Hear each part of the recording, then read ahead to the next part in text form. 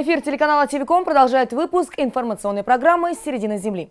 В ближайшие 15 минут только интересные новости Байкальского региона и наших соседей Китая и Монголии. С ними вас познакомлю я, Юлия Пермякова. Здравствуйте. И вначале коротко о главном. Симфония Байкала. В Листвянке музыканты сыграют на ледяных инструментах. Комфортная городская среда. В Чите началось голосование за места, которые благоустроят по федеральной программе. Эффектный уход зимы, сильный снегопад, обрушившийся на северные и центральные регионы Китая, создал проблемы для транспорта.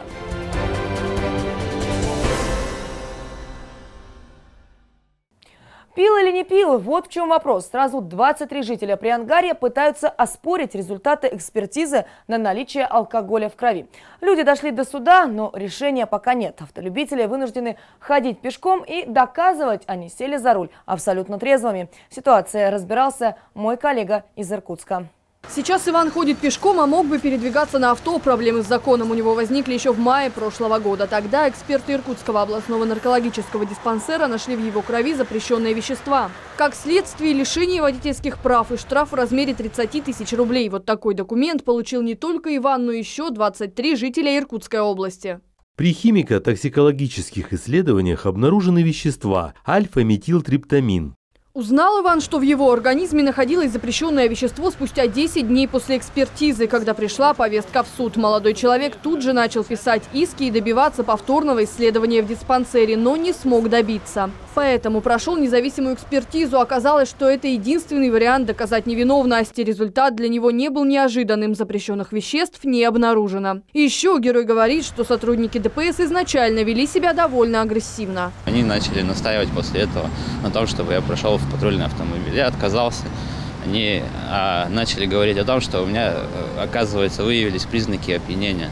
После чего я им начал говорить, составляйте протокол отстранения, без проблем поедем. Они решили этого не делать, как бы, ну просто меня из машины вытащили, мордой в асфальт, обыскали без протокола, без э, понятых.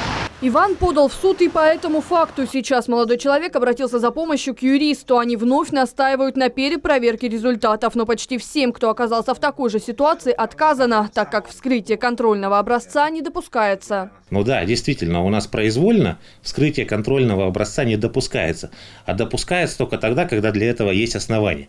Вот как раз в этом случае имели все основания для вскрытия контрольного образца биологического объекта. Тем временем сотрудники областного наркологического диспансера поясняют, все сделано согласно инструкции. Это многоэтапная процедура. И эта процедура позволяет нам выявить э, э, концентрацию того или иного вещества, которое есть и определено в библиотеках э, и также в списках в перечне наркотических веществ. Необходимо понимать, что вещество, которое приводит к состоянию опьянения, вот в данном случае озвученном в средствах массовой информации, гражданин сдавал через продолжительное время. И тот метод, который был использован по интерпретации через волосы, анализы волос, он не имеет места быть. В результатах всех экспертиз теперь будет разбираться суд, и когда наш герой, как и еще более 20 человек, оказавшиеся в аналогичной ситуации, сядут за руль, вопрос открытый. Услышать симфонию Байкала впервые в поселке Листвянка. Музыканты сыграют на ледяных инструментах. Мелодия ветра, льда и воды в дополнение с этническими мотивами погружает зрителей в небывалую атмосферу.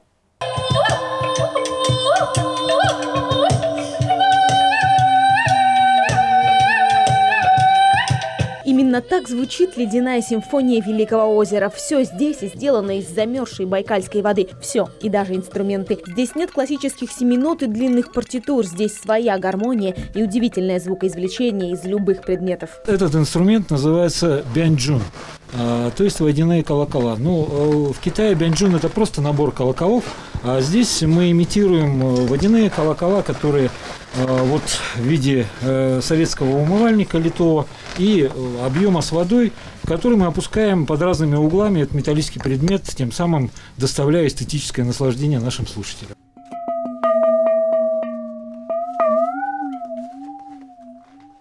Кроме звучащего советского умывальника, здесь есть и настоящие ледяные шедевры. Эти инструменты скульпторы создавали изо льда около двух недель. Вместо ксилофона – айсофон, ледяные барабаны и настоящий горн байкальского дракона.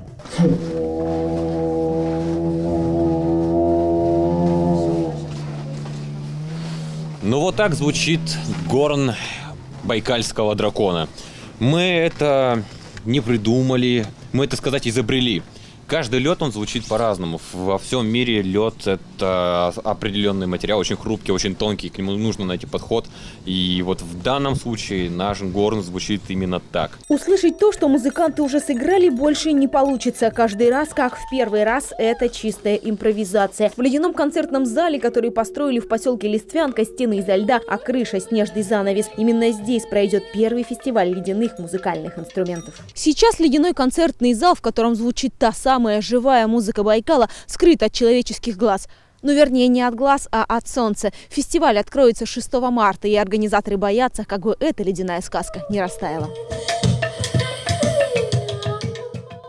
В Чите начали голосование за общественные территории, которые будут отремонтированы по программе «Комфортная городская среда». Проект финансируется не только из местного, но и федерального бюджета. О том, что сделано за три года работы и что предстоит сделать, материал моих коллег из Читы. В программе «Комфортная городская среда» читинцы участвуют уже третий год. За два предыдущих удалось получить средства на финансирование работ по благоустройству не только дворовых территорий, но и общественных. Самый заметный проект – это реконструкция площади имени Ленина. Было заменено покрытие, отремонтирован фонтан. За проведение этих и других работ читинцы голосовали в марте, придя на избирательные участки.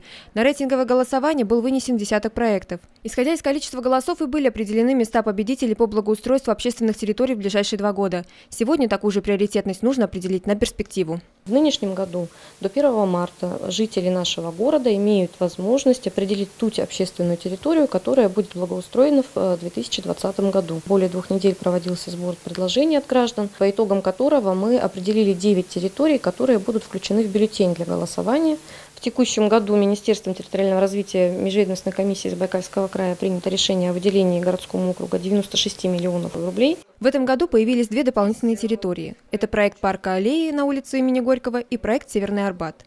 Наряду с этими территориями еще семь заявленных ранее объектов. Это Театральная площадь, парк «Коллективный труд», площадь Октябрьской революции, сквер на улице Шестиперова, а также парки «Березка», «Угольщиков», сквер в микрорайоне «Северный».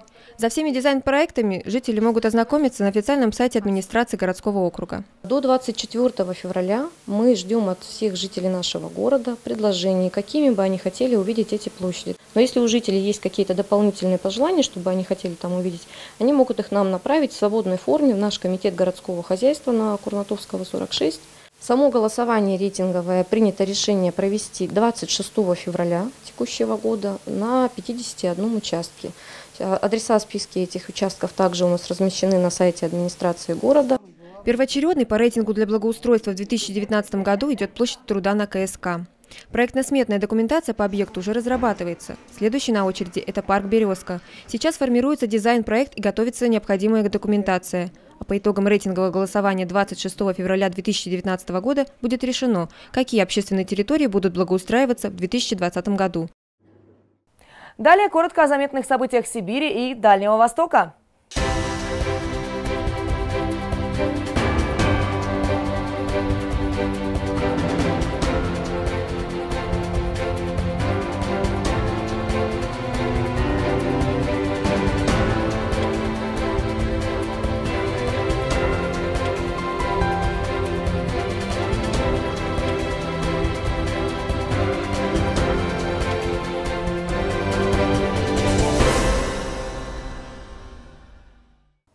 к международному блоку новостей. Снегопад в Китае. В некоторых регионах впервые за зиму. И хотя кто-то радуется зимней сказке, резкое похолодание, метели и быстро растущие сугробы создали дополнительную нагрузку на транспортную систему страны. Учитывая, что в эти дни многие возвращаются из новогодних отпусков, погода заставила понервничать. И так со среды по сей день. Центральные и северные регионы Китая засыпают снегом. Взмах лопатами и уже новые порции уютно укладываются на дорогах. Движение на автобанах пришлось несколько раз приостанавливать. У некоторых путешественников продлились отпуска. Мы едем из Сианя в Тяньцзинь. Прибыли в Чанчжи прошлой ночью, когда пошел снег. Люди работали все утро, чтобы мы могли вернуться домой как можно скорее. В провинции Шаньси в снежном плену оказались около 300 автобусов и машин, следовавшие дальше на север. На помощь, чтобы расчистить им путь, бросили технику с солью и плугами. Но суровая погода и саму работу служб делает непростой. Мы будем ждать до полуночи. Если к тому времени автобусы все еще не смогут выйти на трассу, нам, вероятно, придется остаться здесь ночевать. Снег шел без остановки практически сутки. Уровень осадков местами превышал редкие для здешних мест 7,5 миллиметров. Похожая картина дальше, во внутренней Монголии, где за последние дни температура упала на 8 градусов до минус 20 и ниже, но здесь еще и гололедица. Хэнань южнее, в центре страны, но здесь на улицах по 5 сантиметров снега. На расчистке дополнительные бригады путешественникам помогают отслеживать рейсы и билеты.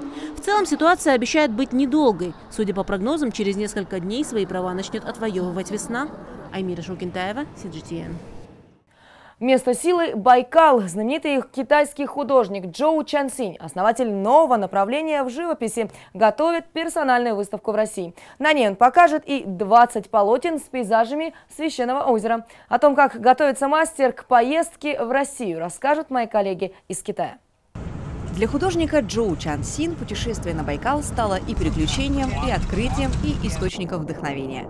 Он побывал на знаменитом озере в марте пару лет назад, когда озеро покрыто толстым слоем льда, после чего создал около 20 работ, посвященных самому глубокому пресному водоему в мире. И некоторые из них вошли в каталоги китайских и зарубежных изданий о современном искусстве. Мы ехали по Байкалу на машине. Это такой огромный каток, на котором иногда встречались ледяные глыбы. И меня поразило сочетание цветов. Небо было синее, гора красная, снег белый, а лед бирюзовый. Внутри толстого слоя льда под ногами замерзли пузыри воздуха, словно какие-то неведомые цветы. Было очень холодно, минус 30 или даже 40 градусов, и я заметил птиц, которые пролетали над озером. Я писал этот пейзаж по памяти. Завершить работу за день в духе Джоу. Он не боится суровых природных условий и часто путешествует дикарем по Китаю, чтобы почувствовать силу природы и найти вдохновение. Он закончил Академию искусств и дизайна при университете Цинхуа и является создателем отдельного направления в китайском изобразительном искусстве, которое на русский можно перевести как «тяжелая цветная масляная живопись». Мазки на его картинах многоцветные, многослойные и многочисленные. Он говорит, вся традиционная китайская живопись сосредоточена вокруг линий. Китайский художник может сделать штрих как минимум 18 способами. Мастера западных стран больше концентрируются на объеме фигур, на игре цвета и тени. Джоу Чан Син объединил и то, и другое. Я пишу пространство в несколько слоев, то есть, скажем так, в 3D формате, и смело использую яркие чистые цвета. Эти техники являются скорее западными, но при этом линии и образы в моих работах берут начало из китайской живописи, которая традиционно выглядит более плоской. В 2006 году картина Джоу Чан Синь под названием «Дух Китая» была продана на аукционе за 1 миллион 900 тысяч долларов. Это восьмиметровое полотно в теплых тонах изображает реку Хуанхэ. Тогда имя китайского художника стало известно всему миру. У него масса последователей и учеников. Джоу Чан Син является ректором Института искусств при Юньнаньском университете. Кроме того, существует фонд под его именем, который 8 лет поддерживает молодых художников и за это время открыл более 140 юных талантов. Джан Ань – один из них. Художественный стиль, в котором я работаю, не похож на стиль моего уважаемого учителя. Он иногда даже может сказать, «Зачем ты так подробно написал мусор на этой картине? Ты же не фотоаппарат, а художник». Но на самом деле я чувствую огромную поддержку с его стороны, и это самое главное. Выставки картин Джоу проходили в штаб-квартире ООН в Нью-Йорке, а также Италии, Франции, Германии и других странах. Сейчас известный китайский художник планирует провести выставку в России, но поскольку он очень очень занят, случится это не раньше следующего года. Василиса Лукашевич, Цидзин, Лимин, Сиджитян. Со 2 по 12 марта в Красноярске пройдет 29-я Всемирная студенческая зимняя универсиада. В этот раз Монголия будет представлена в пяти видах зимнего спорта. В Россию приедет 13 спортсменов. Особые надежды возлагают на фигуристку Марал Эрдене. Девушка живет и учится в Японии и успешно тренируется под руководством тренера из страны восходящего солнца, сообщает портал «Монголия сейчас». Это все, о чем я успела рассказать вам к этой минуте. Самые актуальные новости из соседних регионов и стран в эфире ТВКома смотрите каждый будний день в 20 часов 10 минут. С вами была Юлия Пермякова. До встречи в эфире.